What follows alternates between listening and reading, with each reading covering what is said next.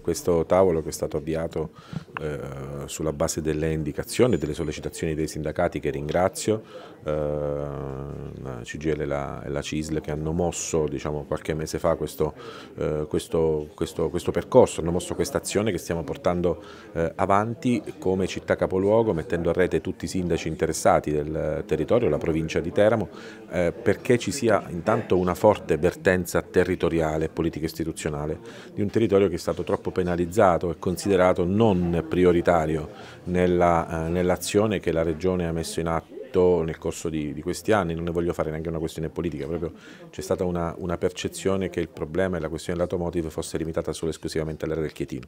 Così non è, eh, è forte, fortissima l'incidenza diretta e indiretta del settore automotive sulla nostra provincia e quindi deve essere assolutamente una priorità. Ecco perché eh, sederci tutti intorno a un tavolo ci consentirà di sviluppare un piano di azione che metta al centro anche l'area che potrebbe anche essere definita legata al cratere un'area di crisi crisi complessa che mette al centro la formazione, che mette al centro azioni anche di agevolazione per tutto il settore che in questo momento è in sofferenza e in difficoltà anche nella fase della cosiddetta transizione eh, che si sta vivendo e che dobbiamo governare per non subirla. E poi anche le infrastrutture legate sia al rapporto con ARAP ma anche le infrastrutture territoriali che non sono state sviluppate nelle loro potenzialità. Pensiamo in particolare agli autoporti e interporti vari, delle varie parti del territorio abruzzese che al momento non eh, non, non, hanno una vera e propria identità e non vengono sviluppate proprio per potenziare un settore eh, nell'ambito di una riqualificazione industriale complessiva verso la quale stiamo andando.